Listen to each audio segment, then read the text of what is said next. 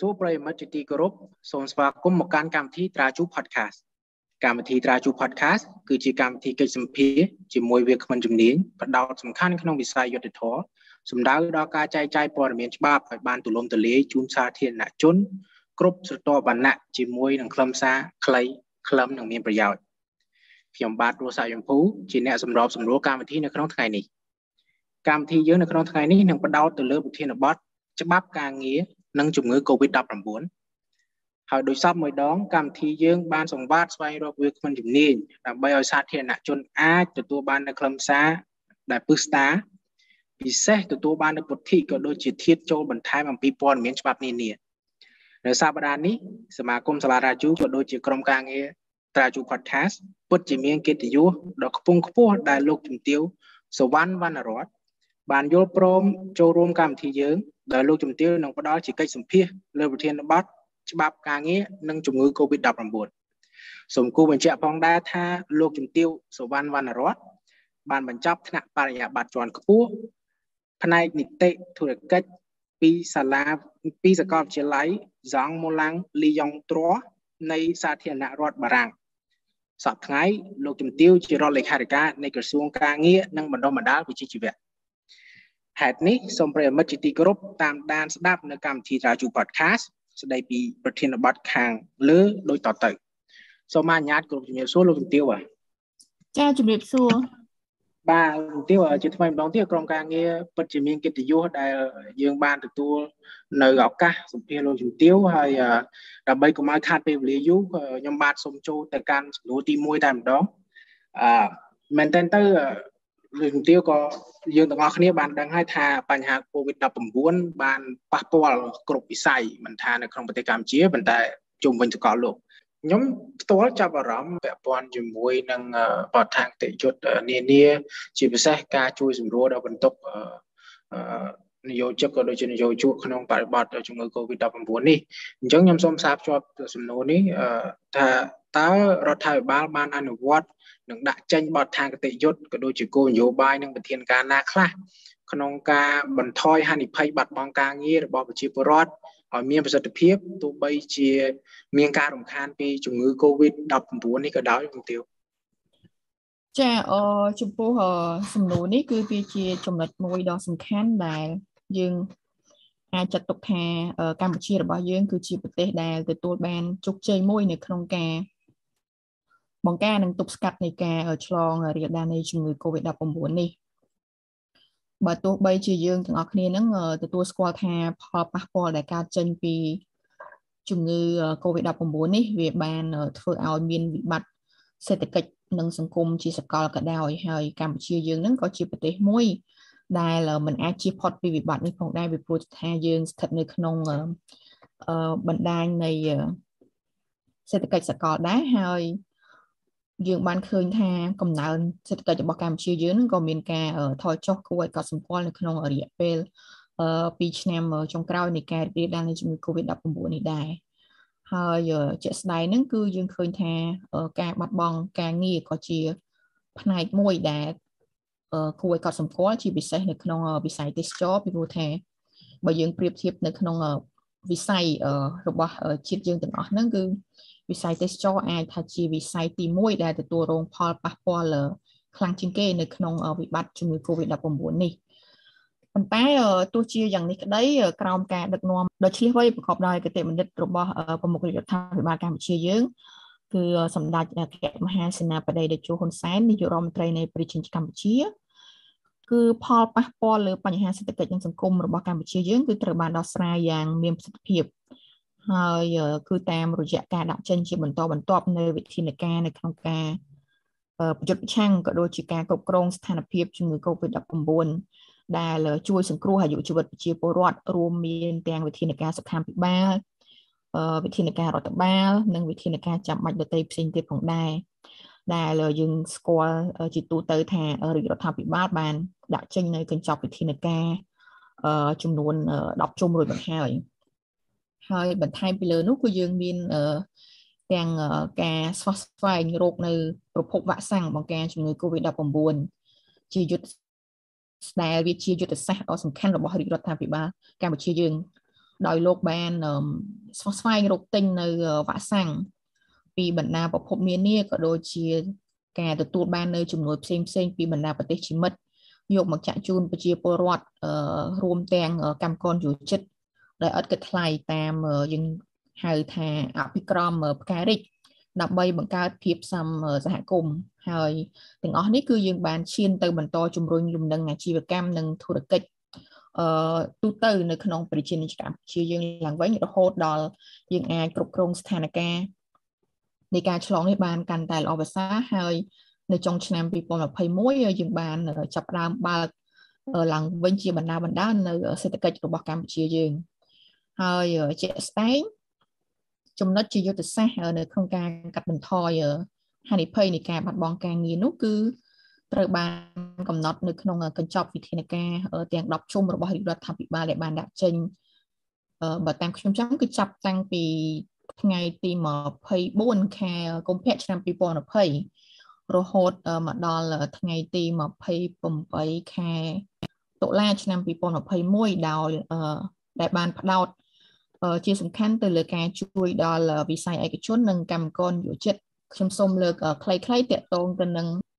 ចំណុចមួយតាក់ទងទៅនឹងវិស័យអឺទេសចរដែលនៅក្នុងនោះគឺរាជរដ្ឋាភិបាលលោកបានដាក់ចេញនៅ កញ្ចប់ថវិកាជាការឧបត្ថម្ភចំនួន40ដុល្លារអាមេរិកនៅក្នុងមួយខែសម្រាប់កម្មករយោជិតម្នាក់ដែលបានព្យួរកិច្ចសន្យាការងារត្រឹមត្រូវហើយចំណែកនៅក្នុងវិស័យវាយនភ័ណ្ឌកាត់ដេរស្បែកជើងផលិតផលធ្វើដំណើរនិងកាបូបហ្នឹងគឺរាជរដ្ឋាភិបាលបានផ្ដល់ប្រាក់ឧបត្ថម្ភចំនួន40ដុល្លារអាមេរិកនៅក្នុងមួយខែសម្រាប់កម្មករយោជិតម្នាក់ដូចគ្នា នៅពេលដែលពួកគាត់បានព្យួរកិច្ចសន្យាការងារត្រឹមត្រូវ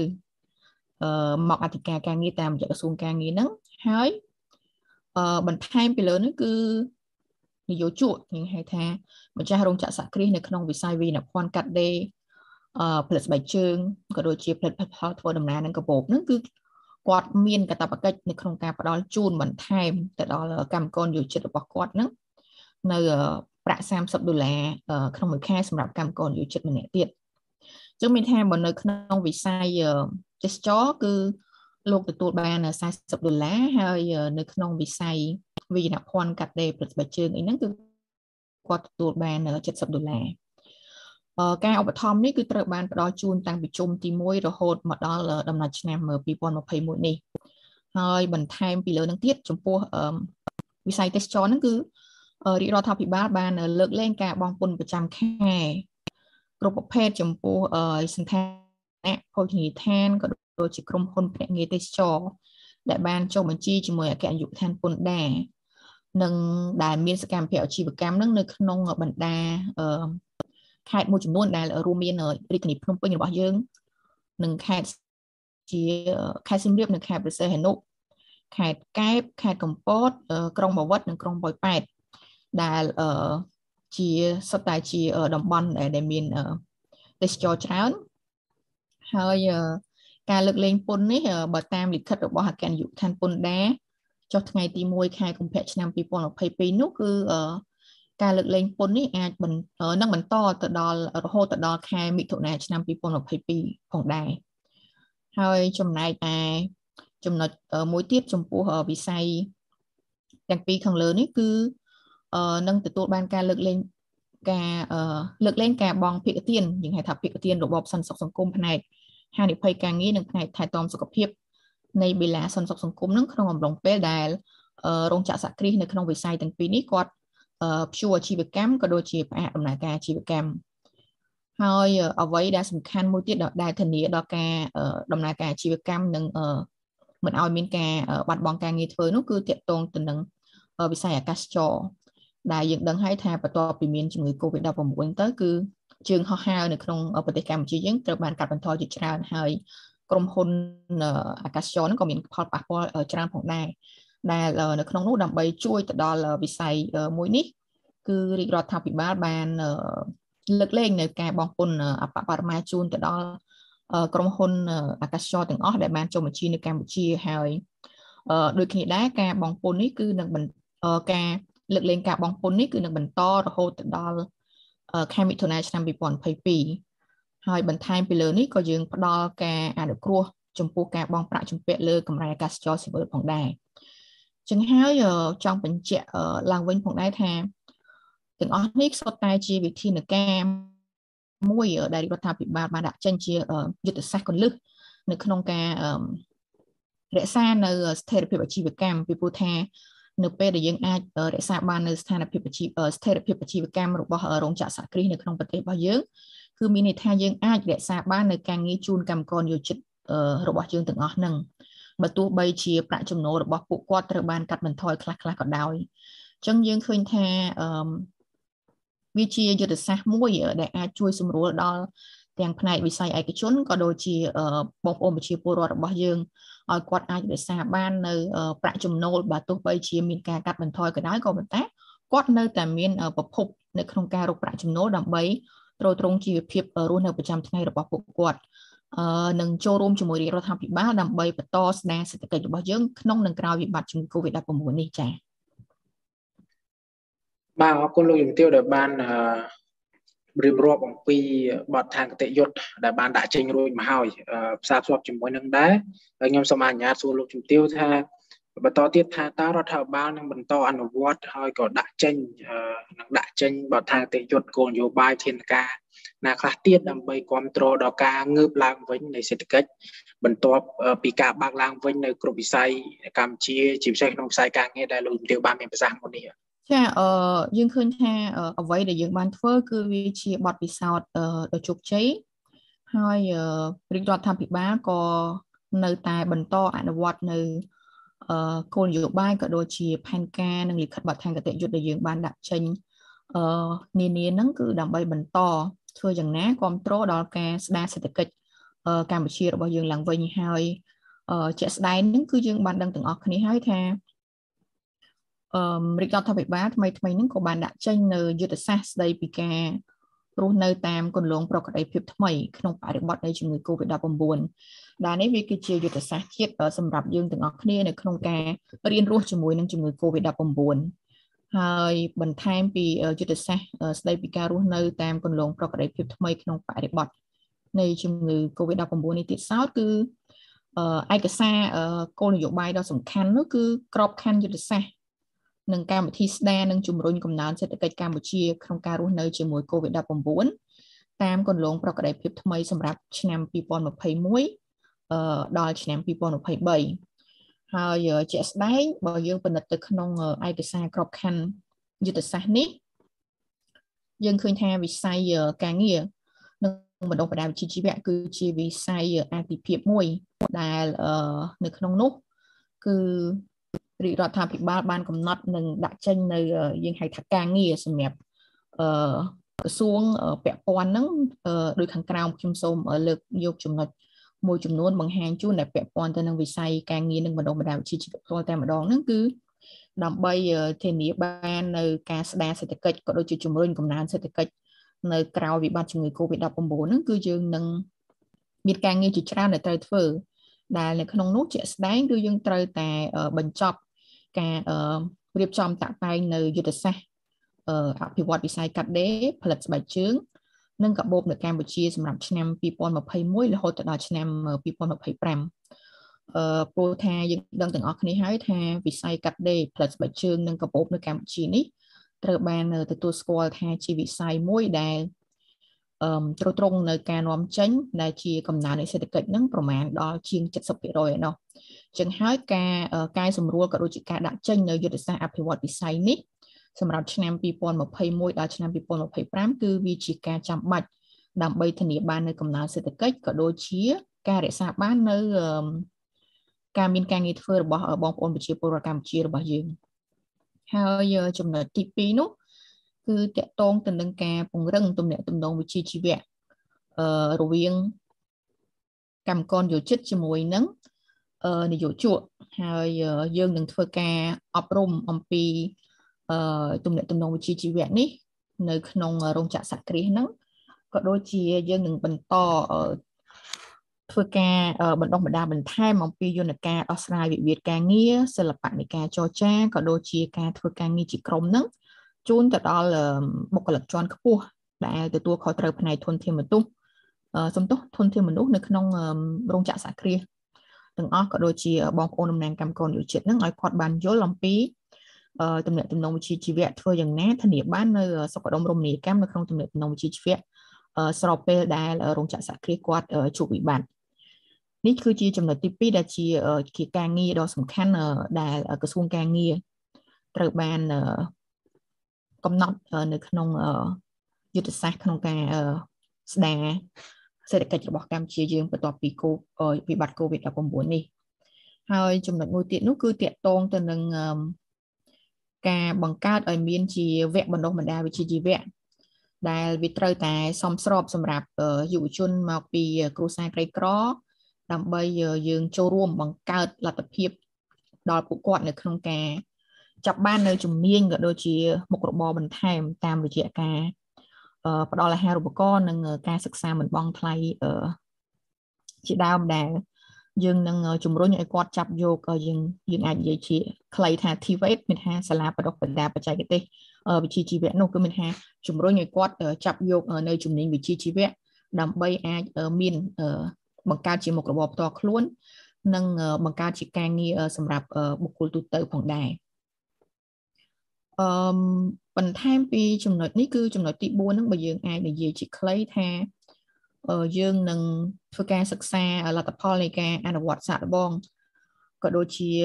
ពិនិត្យឡើងវិញនៅលទ្ធភាពនៅក្នុងការដាក់ឲ្យដំណើរការនៅកម្មវិធីគាំពៀសង្គមដើម្បីបញ្ចប់ភាពក្រីក្រហ្នឹងគឺតាមរយៈការផ្សារភ្ជាប់នៅការឧបត្ថម្ភជាសាច់ប្រាក់ទៅនឹងការបដិបដាបច្ចេកទេសនិងវិជ្ជាជីវៈនិងសកម្មភាព ដោយដែលខ្ញុំបានលើកឡើងនៅចំណុចទី3មុននេះដែរមានថាយើងជំរុញឲ្យពួកគាត់ហ្នឹងចូលរួមសិក្សានៅក្នុងការអប់រំបណ្ដុះបណ្ដាលបច្ចេកទេសនិងវិជ្ជាជីវៈនិងសហគ្រិនភាពធ្វើយ៉ាងណាជំរុញនឹងការបង្កើតមុខរបរថ្មីឲ្យបានច្រើនសម្រាប់ប្រជាពលរដ្ឋដែលលោកជួបអាចថាលោកបាត់បង់ការងារពីវិបត្តិជំងឺ Covid-19 នេះលោកអាចឈោងចាប់នៅអាជីពថ្មីថ្មីបន្ថែមដើម្បីត្រួតត្រងនៅលំនឹងជីវភាពរបស់ពួកគាត់ ហើយចំណែកចំណុចសំខាន់មួយទៀតតកតងទៅនឹងរបបសន្តិសុខសង្គមនោះគឺយើងនឹងដាក់ឲ្យដំណើរការរបបសន្តិសុខសង្គមផ្នែកសោធនសម្រាប់ជនទាំងឡាយណាដែលស្ថិតនៅក្រៅមកបទបញ្ញត្តិនៃច្បាប់ស្តីពីការងារចំណុចនេះគឺដើម្បីផ្ដល់ការគាំពៀផ្នែកហិរញ្ញវត្ថុនៅពេលចាស់ជរាជូនប្រជាពលរដ្ឋក៏ដូចជាបងប្អូនកម្មករយុជិតយើងនៅក្នុងវិស័យឯកជនឲ្យដូចជាមន្ត្រីសាធារណៈដែលយើងហៅថា មានប្រាក់សោធននិវត្តន៍ហ្នឹងហើយទៀតសោតចំណុចមួយទៀតហ្នឹងគឺតកតងទៅនឹងយើងនឹងពិនិត្យនៅលទ្ធភាពនៅក្នុងការពង្រីកវិសាលភាពជាជំហានជំហាននៅការអនុវត្តនៅមូលនិធិសមត្ថសុខាភិបាលក៏ដូចជារបបសន្តិសុខសង្គមផ្នែកថែទាំសុខភាពធ្វើយ៉ាងណាពង្រីកការគាំពៀ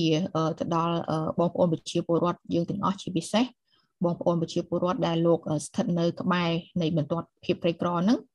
ហើយនឹងបងប្អូនកម្មករយោជិតនៅក្នុងវិស័យសេដ្ឋកិច្ចក្រៅប្រព័ន្ធដែរបច្ចុប្បន្នវានៅមានចំនួនច្រើនដែលយើងហៅថាមិនទាន់បានចូលមកក្នុងជាសេដ្ឋកិច្ចក្នុងប្រព័ន្ធដែលអាចទទួលបានការការពារពីប្រព័ន្ធគាំពារសង្គមរបស់យើងនឹងបានគ្រប់គ្នានៅឡើយទេអញ្ចឹងហើយបានជាការពង្រីកវិសាលភាពនៃការអនុវត្តមូលនិធិសមត្ថសុខាភិបាលក៏ដូចជា ការអនុវត្តនៅរបបសន្តិសុខសង្គមផ្នែកថែទាំសុខភាពនេះគឺវាជាចំណុចសំខាន់នៅក្នុងការស្ដារឡើងវិញនៅសេដ្ឋកិច្ចកម្ពុជាទាក់ទងទៅនឹងវិស័យការងាររបស់យើងហើយជាចុងក្រោយនោះគឺយើងត្រឹមចាំបាច់ត្រូវតែចូលរួមធ្វើការរៀបចំនឹងការដាក់ឲ្យអនុវត្តនៅយើងហៅថាកម្មវិធីលើកទឹកចិត្តសម្រាប់ក្រុមហ៊ុនឬមួយក៏រោងចក្រសហគ្រាសហ្នឹង ទាំងសហគ្រាសធុនតូចនិងមធ្យមមីក្រូយើងហៅថា MMSME ហ្នឹងគឺឲ្យពួកគាត់ហ្នឹងចូលរួមនៅក្នុងការចុះបញ្ជីកម្មករយោជិតក៏ដូចជាបុគ្គលិករបស់ពួកគាត់ទាំងអស់ហ្នឹងទៅក្នុងប្រព័ន្ធអឺបេឡាជាតិសន្តិសុខសង្គមរបស់យើងមិនថាយើងនិយាយឲ្យស្រួលថាយើងចង់ឲ្យគ្រប់គ្នាហ្នឹងបានចុះបញ្ជីនៅក្នុងបសសយើងទាំងអស់ដើម្បីអាចទទួលបាននៅការការពារនៅក្នុងប្រព័ន្ធគាំពារសង្គមរបស់យើងតាមរយៈបេឡាជាតិសន្តិសុខសង្គម ទាំងនេះគឺជាចំណុចសំខាន់សំខាន់ដែលបានកំណត់នៅក្នុងក្របខ័ណ្ឌយុទ្ធសាស្ត្រស្ដារសេដ្ឋកិច្ចកម្ពុជាយើងពាក់ព័ន្ធទៅក្នុងវិស័យការងារនិងបណ្ដុំបណ្ដាលវិជ្ជាជីវៈហើយអឺម្យ៉ាងវិញទៀតនោះគឺដើម្បីសម្រួលទៅដល់ការបើកដំណើរការឡើងវិញនៃរោងចក្រសហគ្រាសមួយចំនួន ដែលលោកបានផ្អាកអាជីវកម្មក៏ដូចជាការបិទសហគ្រាសគ្រឹះស្ថានគាត់ក្នុងកំឡុងពេលវិបត្តិធ្ងន់ធ្ងរនៃជំងឺ Covid-19 ហ្នឹងគឺ ក្រសួងការងារនិងបណ្ដុំដាវជីវៈយើងបានដាក់ចេញនៅប្រកាសលេខ002អឺកាលពីអឺក្នុងឆ្នាំ2022ថ្មីថ្មីនេះដែរគឺស្ដីពីការដាក់ឲ្យប្រើនៅគោលការណ៍ស្តង់ដារគោលការណ៍ប្រតិបត្តិស្តង់ដារស្ដីពីដំណើរការនិងការគ្រប់គ្រងរោងចក្រសហគ្រាសតាមគន្លងប្រកបដោយភាពថ្មីក្នុងគោលបំណងធានាឲ្យបាននៅការបង្ការនិងទប់ស្កាត់ ការរីករាលដាលនៃជំងឺ Covid-19 នៅក្នុងរោងចក្រសហគ្រាសគ្រឹះស្ថានហ្នឹងព្រមទាំងដើម្បីអាចធានាបាននៅនិរន្តរភាពនៃខ្សែច្រវាក់ផលិតកម្មក៏ដូចជាអាជីវកម្មរបស់ពួកគាត់នឹងធ្វើយ៉ាងណាធ្វើឲ្យមានស្ថិរភាពការងារនិងប្រាក់ចំណូលជូនបងប្អូនកម្មករយុវជនផងដែរអញ្ចឹងជាក់ស្ដែងគឺយើងបានប្រកាសឲ្យប្រើនៅគោលការណ៍ប្រតិបត្តិស្តង់ដារនេះសម្រាប់រោងចក្រសហគ្រាសទាំងអស់ហ្នឹងកាលពី ដើមឆ្នាំកាលពីខែមករាផងដែរហើយសង្ឃឹមថារោងចក្រសហគ្រាសទាំងអស់ហ្នឹងគាត់នឹងអនុវត្តតាមស្តង់ដារប្រតិបត្តិនេះធ្វើយ៉ាងណាឲ្យរោងចក្រសហគ្រាសរបស់គាត់នឹងជៀសផុតពីជំងឺ Covid-19 អរគុណណាស់លោកជំទាវដែលបានចូលរួមយ៉ាងពិស្ដាអញ្ចឹងជារួមសូមសូមអនុញ្ញាតគោរពអរគុណលោកជំទាវសវណ្ណវណ្ណរតដែលបានចំណាយពេលវេលាដ៏មមាញឹក ចូលរួមជាវាគ្មិនសម្រាប់កម្មវិធីត្រាជូ podcast សម្រាប់ប្រធានបទច្បាប់ការងារនិងជំងឺ Covid-19 អញ្ចឹងដោយសារតែពេលវេលាមានកំណត់ជាទីបញ្ចប់សូមគោរពអរគុណទៅដល់ប្រិមិត្តចាស់និងថ្មីដែលគ្រប់គ្រងនិងបន្តគ្រប់គ្រងកម្មវិធីត្រាជូ podcast ហើយជំនួសមុខឲ្យក្រុមការងារក៏ដូចជាលោកជំទាវ